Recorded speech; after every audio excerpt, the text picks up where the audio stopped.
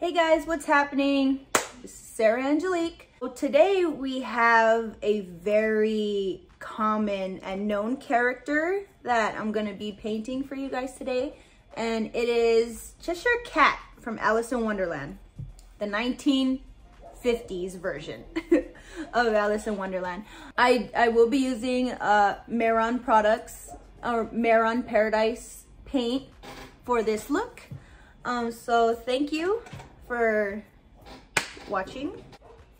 If you're new here, I just started my YouTube channel. I am very new to makeup, SFX, and body paint. And if you're interested in watching my journey and if you're interested in watching me grow and get better in the future, um, go ahead and click that subscribe button.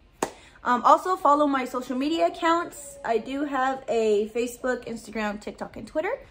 Um, so go ahead and follow me there too. And let's get into the Cheshire Cat painting tutorial.